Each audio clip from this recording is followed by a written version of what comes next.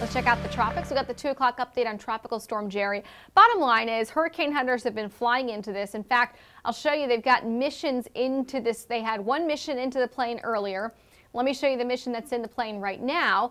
They are also tracking winds. They've seen a wind speed so far of 53 miles per hour. They found that even though Jerry is battling wind shear today on its northern side, the winds on this storm did come up a little bit. So those winds right now are set at 60 miles per hour. They need to go up to 74 or really 75 miles per hour for it to be a hurricane. So that is still yet to come. It's currently just a tropical storm. Tropical storm watches in effect for the northern Leeward Islands.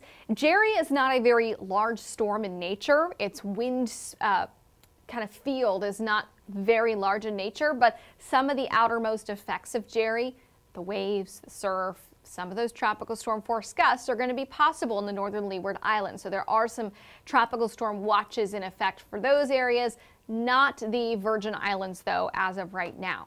So gradually getting a little bit stronger through today and tomorrow and then by Thursday night or Friday morning becoming a hurricane. And the reason why we're not seeing it become a hurricane as soon is because we're dealing with the wind shear.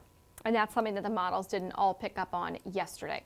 I'll just go back and show you that this is going to curve east of Bermuda, so we do not expect any direct impacts here in the United States.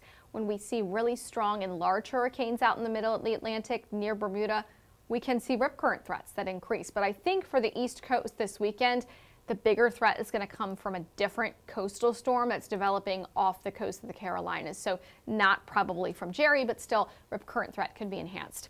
In the tropics, we're also tracking this area of thunderstorms producing really heavy rainfall over the Bay of Campeche right now.